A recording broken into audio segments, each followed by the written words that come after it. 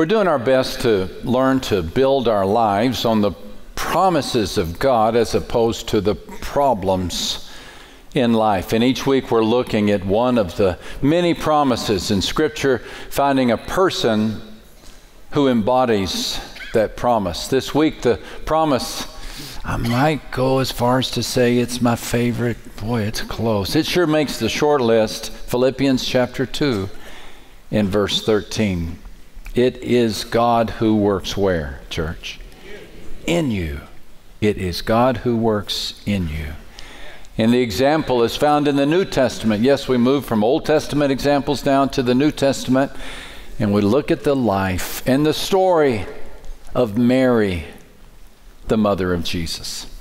But before we do, we always make this declaration. If you're new to Oak Hills, welcome. Thankful that you're here. What we do is we sit up straight and we put our shoulders back and we fill our lungs with air and our hearts with hope. And we have monitors who, if they see us and our posture's bad, you get in trouble. Just kidding. Let's do it, shall we? Say it like you mean it. We are building our lives on the promises of God because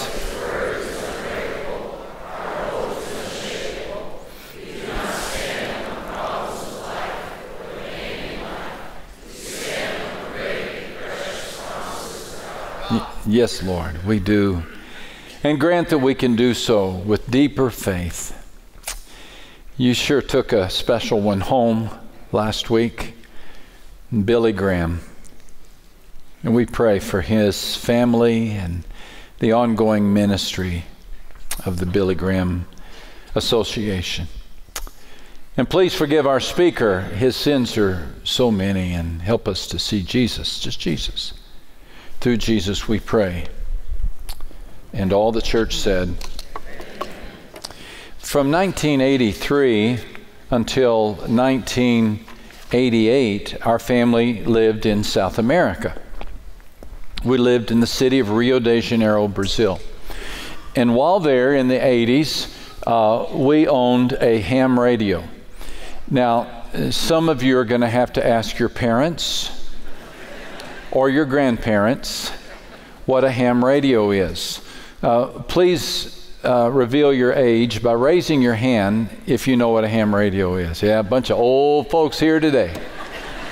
In the days prior to affordable international calls and certainly prior to email, the most affordable way to stay in communication uh, if you lived overseas was a ham radio.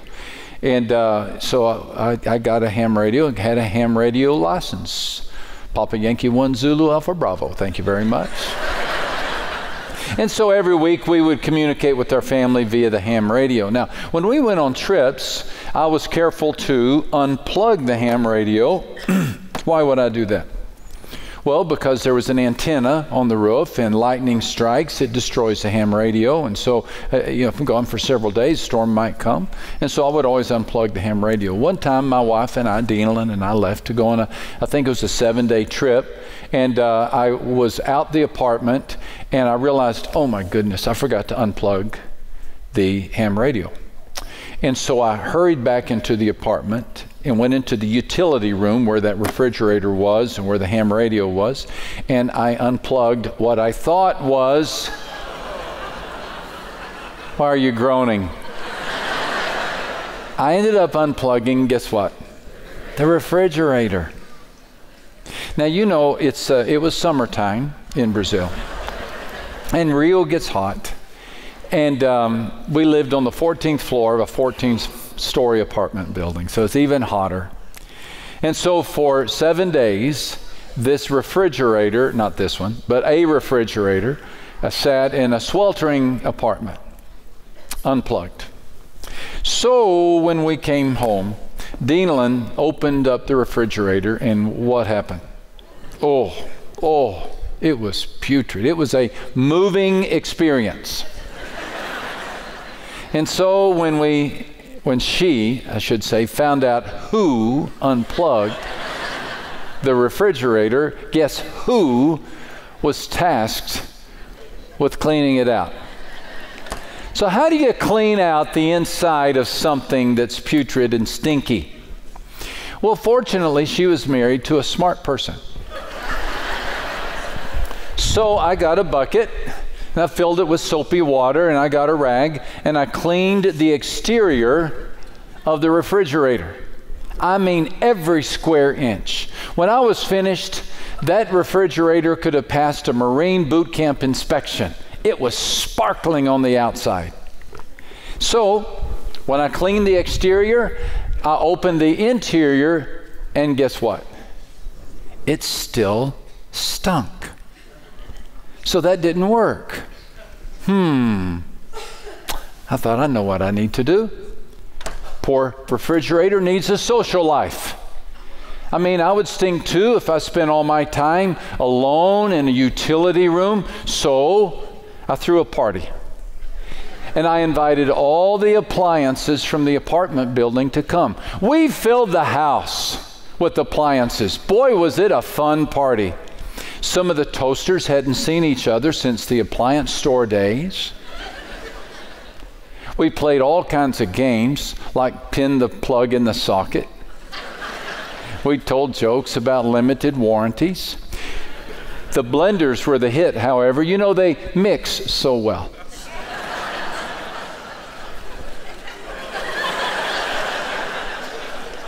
you know, even the early service laughed better than that. Well, I s- assumed that by improving the social life of the refrigerator, the interior would be improved. Well, guess what? I opened it up. Oh, it was still terrible. I was running out of options.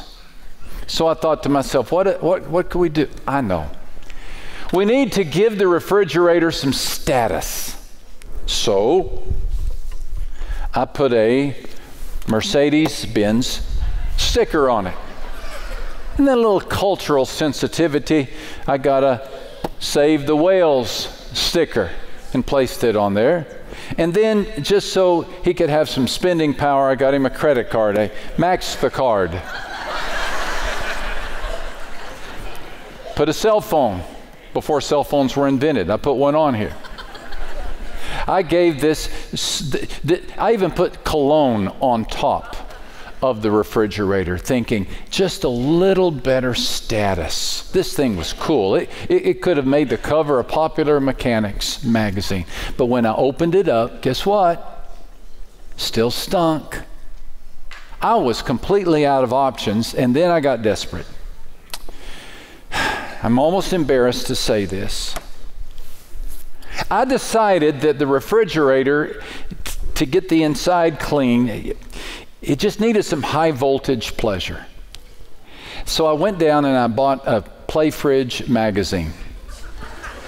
You know, the kind that have pictures with the doors open.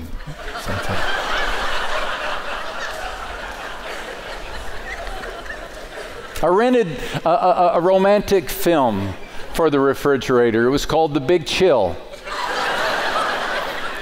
I tried to arrange a date with the refrigerator with the Westinghouse down the hall. She refused.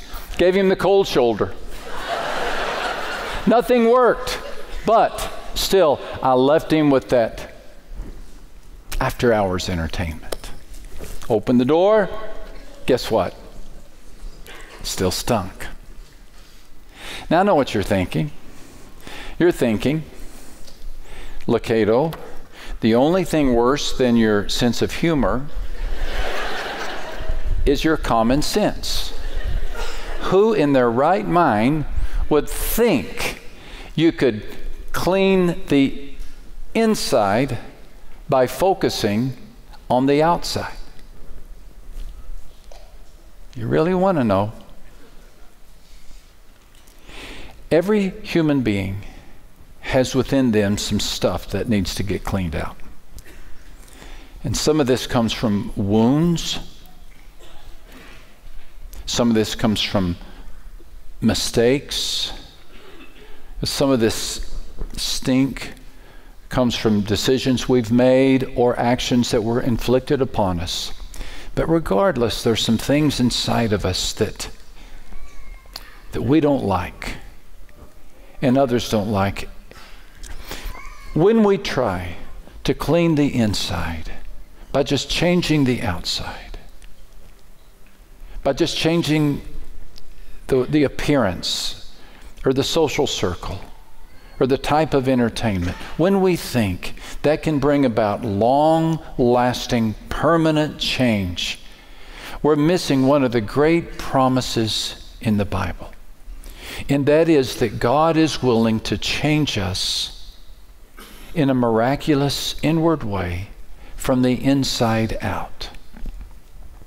The apostle Paul reduced it down to a sentence in Colossians 1:27. He said the mystery in a nutshell is just this. Can you say that phrase with me? Christ is in you. You see, a Christian is a person in whom Christ is happening. A Christian is a person in whom Christ is happening. It's somewhat of a spiritual heart transplant. The old heart is removed, and a new heart, a new being, is deposited within us. The Apostle Paul, again, this time when he wrote the church in Galatia, said, My dear children, for whom I am again in the pains of childbirth, until, can you say this last phrase with me? Christ is formed in you. You see, the apostle envisioned that when a person becomes a Christian, that Christ takes up residence within them. The old engine is removed and a Ferrari is deposited. And this essence of Christ, this presence of Christ, is undeniably changing who we are from the inside out. That is to say, it's not up to us to change ourselves. It's up to us to cooperate with the change that's already there. And every element, every characteristic of Christ is deposited in us supernaturally when we give our heart to Christ. For this reason, the scripture calls becoming a Christian being born again, because a brand new presence is deposited within the believer. Now, I didn't get this for many years. I didn't. I got all the other prepositions. I believed that Christ was for me, that Christ was above me, Christ was with me, ahead of me, behind me. But this idea of Christ inside me, I don't know how I missed it. I, I can't blame it on the Apostle Paul. He refers to the indwelling presence of Christ in the believer 216 times in his epistles. 216 times. And John the Apostle refers to it 26 times. And I believe that a message that comes from the great story of the birth of Christ is the promise that what happened to Mary happens to every believer.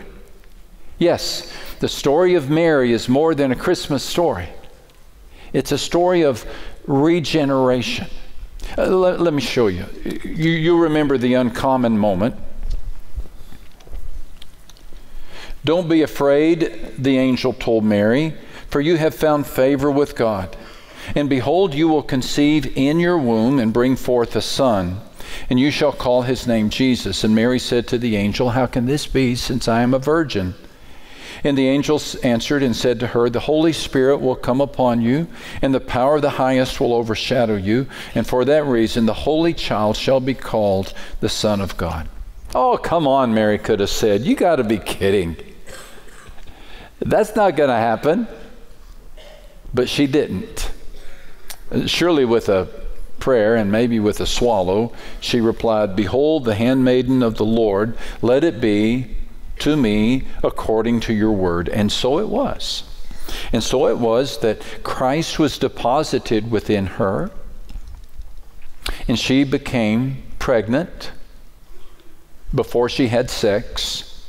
It was a miraculous deposit of the presence of Christ within her. The fetus of Jesus grew and grew and grew. Wonder what that was like. What's it like to have Christ within you, growing, taking up more space, changing the interior, changing the way you appear, growing so large until finally Christ has to come out. And you know it's a miracle because you didn't do anything to make it happen. Such a story troubles people. Such a story about Mary troubles people. In fact, the, the response historically to the story of Mary has caused people to go to one or two extremes with the story of Mary. Just real quickly, these two unfortunate responses. Mary can't be, un, can't be common. She, she, she must be some, I don't know, a form of, of, of deity, some supernatural pure person. She can't be just a common villager like she's presented in Scripture. I mean, this is too extraordinary. And so some people, they glorify Mary. They magnify Mary and they turn Mary into somebody who's otherly, who's untouchable, not like us. In fact, there are millions of people who pray through Mary, even some to Mary. This is contrary to Scripture. There is one mediator between God and men, the man Jesus Christ. But the challenge and the danger of, of glorifying Mary is that we take her out of the normal person status. When I think one of the purposes of the story of Mary is to tell us that God does something with normal people, like you and me. And then there are other people who go to the other extreme. They, they don't glorify Mary, they, they minimize Mary. They, they say this is just a, it's just a legend. This whole thing of a virgin birth. It just, when, when we can't figure something out, we'll just call them a legend, call it a legend. The, the, the creation, that's a legend. The, the, story of Noah's Ark, that's the burning bush. All of the, they're just, they're just non-historical sagas and myths. Well, the problem, there's several problems with doing that. Well, one of which is that the story of the virgin birth of Jesus I'm sorry, the birth of Jesus through the Virgin Mary is not presented in Scripture as a saga. Some things are presented in Scripture. There's allegorical language, there's metaphysical language, but, but the story of, of the birth of Christ is presented in historical language so as to present this really happened. There was a real Bethlehem, there was a real census, there was a real Herod. These are historical facts. So there must have been a Mary and a Joseph and the story of Mary giving birth to Jesus as a virgin must be historical. That's what the early church believed. That's what the early church fathers believed, some of whom were martyred because of their conviction, in part about the virgin birth. One well known church father, Arist- Arist- Aristides, in 140 AD, wrote about the virgin birth of Christ. And then there was the birth, I'm sorry, the martyrdom of Ignatius in 170 AD. All th- th- these are men who lived within a few generations. So if the church fathers and the church sorry, the gospel authors saw no reason to dismiss the virgin birth of Christ, why would we? Yes. Why would we? Why would we? The story of the birth of Christ miraculously deposited within the womb of Mary is a picture for us. There is in this story this unbelievable invitation. And that is what happened to Mary can happen to you and can happen to me. The supernatural deposit of his son in your life. Scripture is replete with these declarations. Jesus lives inside his children. To the apostles, Jesus said, I am in you. Paul's prayer for the Ephesians was that Christ may dwell where? In your hearts through faith. What is the mystery of the gospel? It is Christ in you the hope of glory. John was clear. Those who obey God's commandments remain in fellowship with Him, and He with them. Christ isn't just for you or with you. Of course, He is that, but He is in you. He was a fetus in Mary, He is a force in you. Here's what I'm saying, and that is when you give your heart to Christ, He returns the favor, and everything about Christ is supernaturally deposited within you. We're not talking about joining an organization like you might join the Boy Scouts or, or become a fan of an organization like you might become a fan of the football team. When you give your heart to Christ, we're talking about the greatest event that will ever happen in a person's life. And that is every attribute of Christ is placed within you, invisibly yet undeniably. Everything about Christ is placed within you. Now, I believe, and I think you'll agree, that this is cause for high optimism. Because there are times I don't like who I am. There are times you don't like who I am. But my response to that need not be some exterior, odd alteration of environment. My response to that needs to be I'm going to stand on the promise of Christ. And that is God is inside me, and He is changing me day after day, hour after hour, year after year. And there is within me and there is within you the presence of Christ growing so much that at some point he cannot help but come out. This means that the self control of Christ is within you. Could you use some self control? It's in there. This means that the grace of Christ is within you. You having a hard time forgiving that jerk? It's in there. There's some grace that you can find. The hope of Christ, the long suffering of Christ, the kindness of Christ, the compassion of Christ. Every attribute of Christ is within you, just waiting to come out.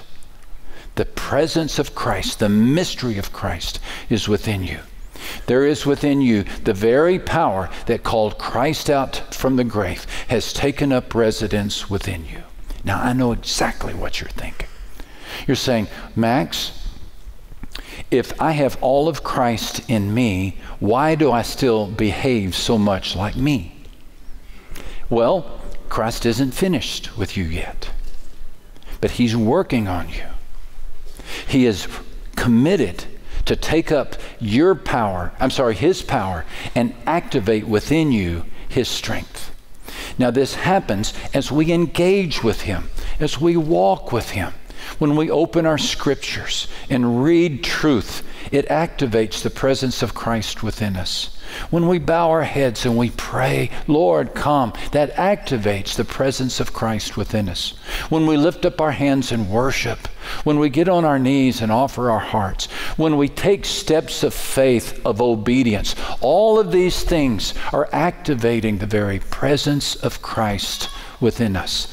But there is a new you, a better you, an exciting you, a more lovable you that will come out. It will. Don't you look at me like that. It's going to come out. You don't get down on yourself. You don't beat yourself up. You're, you're a chosen vessel of the Almighty God. And He has chosen to live within you. Again, this was such a theme of the Apostle Paul. He said, For this purpose I labor, striving according to whose power? His power. His power, which mightily works where? In me. Now, I think many churchgoers make the mistake that I made for many years. And that is that Christ has plenty power to save me but then it's up to me to stay saved and get better. That's not right. The same power that saves you, the same power that puts your name in the book of life in heaven, the same grace that rescues you is the same power that keeps you saved and that begins to change you more and more, day by day, into the image of Jesus Christ. He did it, and He does it. What, what did Mary do? What was her role in the miracle? What was her role? Did she say, okay, well, I guess I better figure out how this works and do something special? I better assist you, God, in making. Th-. No. She said, I'm a handmaiden of the Lord. Let it be unto me according to your will. Okay, I ain't worth much. I, that's what I hear. I mean, I'm a handmaiden, uh, but, but you can do it. I'm going to trust you. She didn't assist God, nor did she resist God. She didn't say, Do you know how bad I've been? Do you know some of the thoughts I have? Do you know how unworthy I am? Yeah, that might be true for somebody somewhere, but not. She didn't assist God. She just said, Okay, I'm the handmaiden of the Lord. She didn't resist God. She didn't say, Well, I'm not good enough. She just said, Let it be unto me according to your word. That's a conversion statement, church. That's what a person says when they come to Christ. They say, Okay, let it be unto me as according to your word. My prayer for you, dear child of God, is that you and I would so long for God to come into our hearts that all we would do is say, Okay, Lord, just let it happen. And open ourselves up to this wonderful mystery that Christ has taken up residence within us. And we would abandon all hope of trying to improve ourselves through exterior alterations. But we would enter into this extraordinary adventure of walking in tandem, in unity with the Lord Jesus Christ, inviting Him to take over and to change us from the inside out until we could some dare we someday say what the apostle Paul said that it is no longer I who live but Christ who lives where in me that someday we would think it it's been a long time since I've seen Max it's no longer Max who lives. Max and all of his prejudice, Max and all of his irritability, Max and all of his moodiness, Max and all of his crankiness, Max and all of his negativism, Max and all of his bad, sour outlook. You know what? It's, I haven't seen that in a long time. Thank you, Lord. It's no longer Max who lives. You see, eh, legally, that transaction has happened. Okay? That happened when Max gave his heart to Christ. His name was forever changed in heaven. So the legal transaction has happened. The existential, the, the actuality of that is happening. So a Christian is a person in whom Christ has happened and in whom Christ is happening. Does that work? It's happened legally. I can't lose it, even if I foul up, because I now belong to Christ. And it's happening because He's changing me from the inside out. Now, why is He doing that? Mean, why didn't He just call us to heaven? I mean, when we're baptized, why do we? Why can't we just go wet to the pearly gates? you know, just why? My mom asked me that so many times in her latter years. She died at the age of 89 in the last two or three years struggled so with her health. She'd say, Why, Max? Why am I still here? I said, I, I don't know, Mom, it, except that there must be some Jesus in you that needs to come out to help others.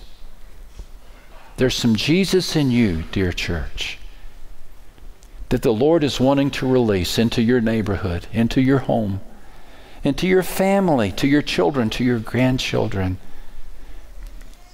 You are the presence of Christ. You're the fragrance of Christ. You know, the Bible says you're the temple of the Holy Spirit. So when you walk into a building, you are the presence of Christ in that building. And when you're at a board meeting or when you're on an airplane or when you're when you're taking your kids to school, Jesus just showed up. And as you and I begin to understand and relate more and more to Jesus, we'll speak more with the words of Christ, think more with the mind of Christ. Our hands will actually have the touch of Christ. We'll, we'll have power to speak words of healing and encouragement, and something supernatural and mystical will happen in our relationships. I guess that's why we're still here, church. I mean, I'm like you, I, I'm ready to go. But apparently, there's more of Jesus that needs to come out. So I, I need to wrap this up. But I just urge you stand on this promise. Let this promise change the way you see you. You are not the sum total of some bad decisions. You're not. We've all made bad decisions. But let me tell you something you're the presence of Christ. You are Christ in a room. You are. You're highly favored. You're chosen. You have been purchased by the blood of Jesus Christ. You're an ambassador of God. You're the fragrance of Christ. Don't let the devil tell you otherwise. You are who God says you are. Let the promise of Christ working in you change the way you see you. Let it change the way you see your future. Yeah, you got some hangups. God knows that. Talk to Him about them and say, Lord, can we take that one on now? Uh, can we take on my bad attitude? Can, can you please help me, Lord, get this tongue under control? And so you begin talking to Him. We call that confession. Confession's not a bad thing. Confession is simply agreeing with God. God, there's some work that needs to be done. Can we get on to it, please? And oh, the Lord loves to hear that. And so he begins and continues this work within you, and you begin to change. And the people around you begin to notice. And the smell disappears. Not because of what you do, but it's all because of what Christ does. It is God who works in you. Amen. Amen. Grant, O oh Heavenly Father, that we can see ourselves like you see us as the living presence of Jesus Christ. Through Christ we pray. And all the church said,